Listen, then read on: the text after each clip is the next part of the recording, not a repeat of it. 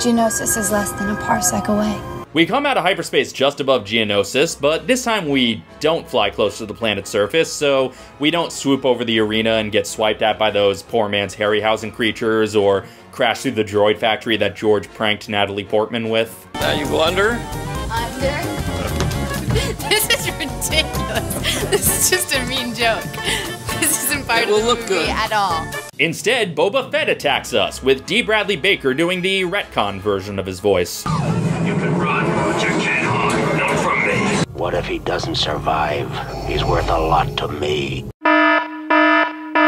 What if he doesn't survive? He's worth a lot to me.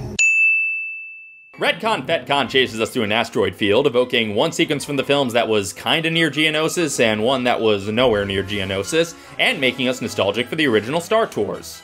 Then Vader chases us inside the Death Star, making us nostalgic for the original Star Tours. It's a great sequence that feels like a space chase in a way most of the other sequences don't. No hijinks on a planet's surface, just a tour to a war of the stars but this time more up close and personal than the original time, and this time the bad guys are actively after us instead of just being indifferent to whether we live or die. We make it out of the Death Star okay, but Boba Fett lobs one of those sonic bombs at us, you know, one of the ones that he and his dad fired at Obi Wan years before, but R2 gets it out of our way.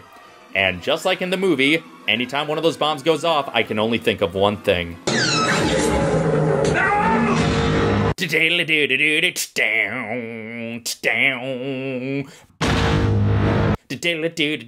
Down, down. The Boba's got a bomb, Boba's got a bomb. Down, down. We make our escape, make it to the proper coordinates this time, and the rebellion welcomes us. You are all heroes of the rebellion. Damn straight we are. Time to update my resume.